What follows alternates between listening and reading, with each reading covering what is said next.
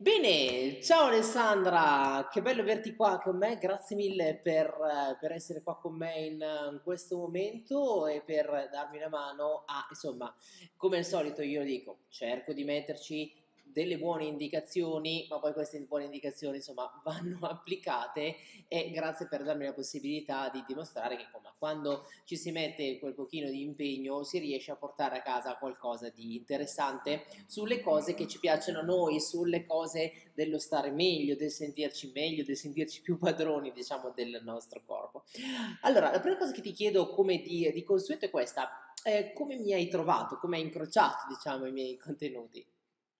Intanto ciao a te e grazie a te per l'opportunità di dire eh, perché eh, sono entusiasta di averti incontrato, soprattutto il programma di fitness sicuro. Eh, allora, in realtà sono incappata eh, sul sito dell'altra riabilitazione già da diversi anni, in un periodo dove di sport eh, fatto quotidianamente, concorsa piuttosto che ginnastica a corpo libero, insomma tante cose, ma con un problema costante alla, ai muscoli cervicali, alla colonna cervicale e quindi cercavo qualcosa di, che mi potesse aiutare, appunto ho trovato il sito dell'altra riabilitazione, mi è piaciuto molto ehm, perché erano comunque esercizi fattibili da tutti e, e, quindi niente, mi sono poi iscritta e mi è sempre arrivato il tuo materiale che ho sempre trovato comunque molto utile. Eh, fino all'invito eh, a conoscere il corso di fitness sicuro in un momento della vita eh, della mia vita particolare eh, dove mh, per motivi di salute importanti avevo dovuto eh, lasciare perdere tutto l'aspetto dello sport e questo mi aveva portato anche ad un peggioramento proprio delle mie problematiche eh, della colonna diciamo. e cercavo proprio in quel periodo ehm, una risposta a un poter ricominciare eh. ma con qualcosa appunto eh, di fattibile per me, eh, che tenesse conto di eh, una serie di problematiche, di una grande fatica e anche di una situazione in quel momento muscolare molto compromessa. E questo Ho è il problema effettivamente, perché eh, ci si trova e purtroppo sono cose eh, eh, comuni, diciamo, per motivi di salute, magari a, a degli improvvisi, eh, repentini perdite dello stato di forma. Le, le, generalizziamo così, no? Perdite dello stato di forma.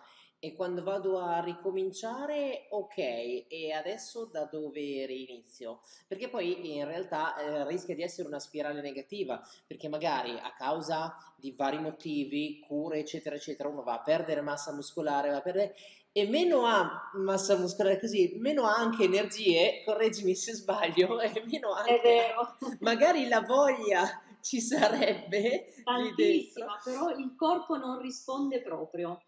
E effettivamente è proprio così. Io mi sono ritrovata tantissimo in quello che tu hai raccontato quella sera presentando il corso. Ho detto, ma sì, proviamo. Eh, nel senso, non diamoci per vinte, eh, si può sempre ricominciare soprattutto pensando a non ricominciare come ehm, nello stesso modo in cui avevo smesso, perché per tutta una serie di motivi non era più possibile, però comunque ricominciare. Questo mi ha dato un nuovo stimolo. Mi sono appunto comprato il corso e ho iniziato. E devo dire questo, lo dico per chi ascolterà, eh, è veramente molto molto importante quello che tu dici, eh, lo, l'hai detto nella serata di presentazione, l'hai detto anche all'inizio del corso, eh, la costanza. La costanza è fondamentale, cioè io l'ho proprio riscontrato in me.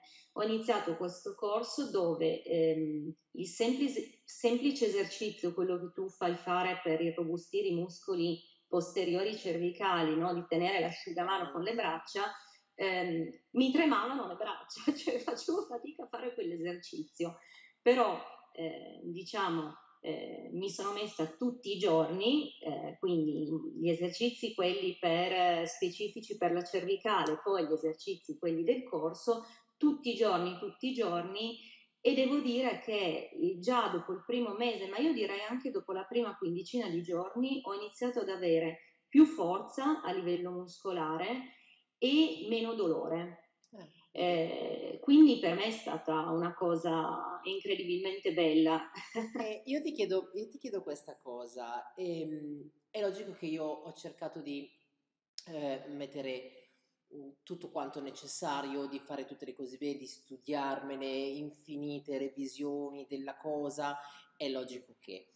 Però è impossibile, nonostante io ci, eh, ci, abbia dedicato anche per esempio delle sezioni apposite no? sul eh, come mantenere la costanza e così via, no? le informazioni che servono anche perché noi smettiamo un percorso per motivi che vengono dal cervello, non vengono dai muscoli, ma mi interesserebbe sapere, prescinde dalle cose tecniche, che cos'è che ti ha tenuto, che ti ha permesso di mantenere la costanza? È stata la scintilla? Perché non può essere venuta, per quanto io possa averci provarci in tutti i modi, il, la scintillina deve venire da... A te cosa è stato?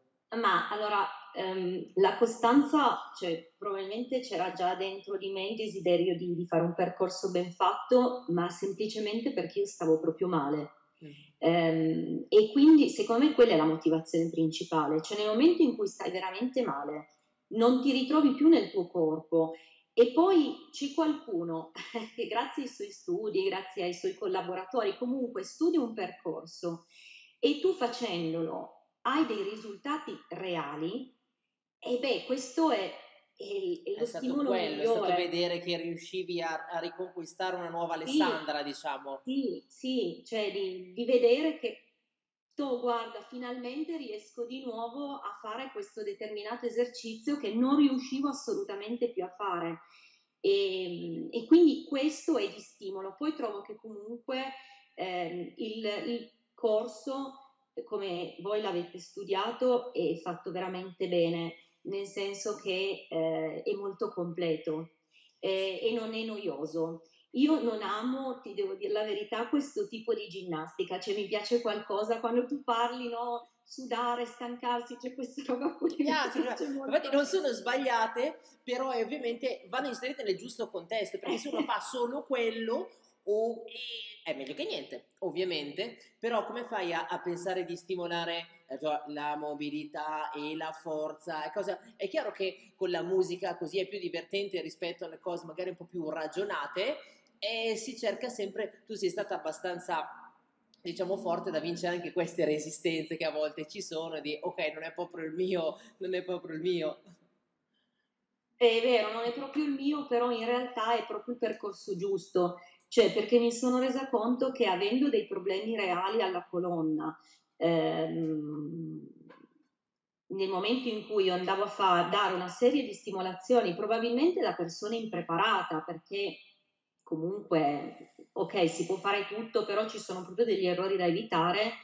Eh, il fatto di andare a lavorare in maniera pensata, costruita, ragionata da professionisti, eh, vai a dare al corpo delle stimolazioni, degli stimoli che da solo faresti fatica, faresti fatica a dare. Tutto si, può, tutto si può fare sicuramente L'idea è, proprio, l'idea è proprio di appunto dare tutte quelle simulazioni senza esagerare, dare varie, eccetera, eccetera, per poter diciamo costruire tutto quello che è necessario, i, i, pilastri, i pilastri del benessere, chiaramente.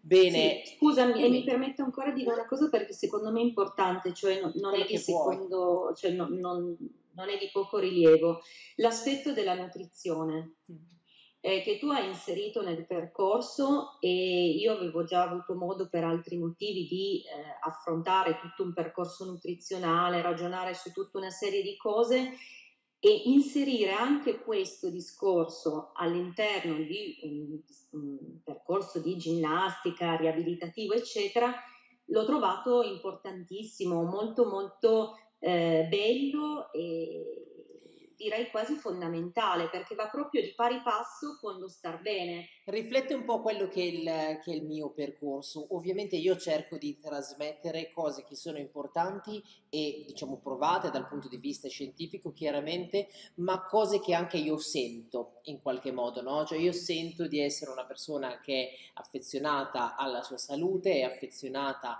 all'aspetto nutrizionale, non è maniaca dell'aspetto nutrizionale perché lo so che c'è una una vita, lo so che c'è il compleanno del figlio, lo so che ce l'ho anch'io, eh, cioè, eh, lo so che c'è la festività così, però eh, tutto sommato, cioè la sfida, la vera sfida eh, non è quella di diventare talebani di qualche cosa, perché ok, quello lì ci riescono una minoranza di persone a diventare talebani di qualche cosa. La vera sfida è portare avanti un percorso con la vita di tutti i giorni e riuscendo a fare la vita di tutti i giorni senza, diciamo, fare cose che appunto risultano poi difficili per la maggioranza delle persone. Sì. Io ti ringrazio tantissimo per, per, la, per, la, per, la, tua disponibilità, ma soprattutto per aver comunicato il, la, la, una storia di forza, cioè una storia di forza non diciamo nel senso di BCPT, ma di una persona che comunque in un momento di forte difficoltà e di basse energie, chiamiamolo un momento di basse energie sicuramente, però è stata abbastanza lucida da pensare che comunque qualcosa doveva fare.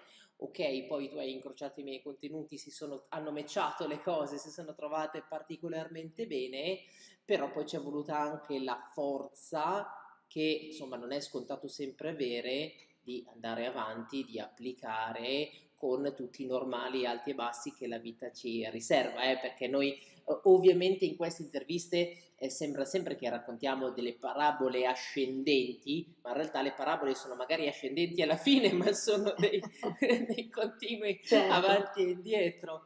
Quindi io ti ringrazio tantissimo davvero della, della tua condivisione e della tua gentilezza. Grazie. Cioè, Sandra, buon proseguimento. Grazie.